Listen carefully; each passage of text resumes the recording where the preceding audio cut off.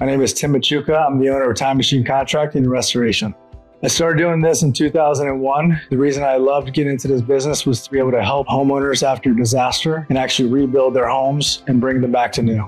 My mission is to make sure a customer has a great experience during a disaster. The big thing about this is to make sure that they understand the whole process from start to finish and to make sure they enjoy a beautiful house after we finish is the main goal of the company.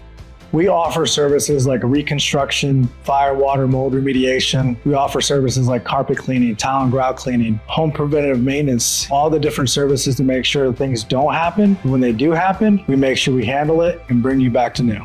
At Time Machine Contracting, we're general contractors. We have certifications for fire, water, and mold remediation.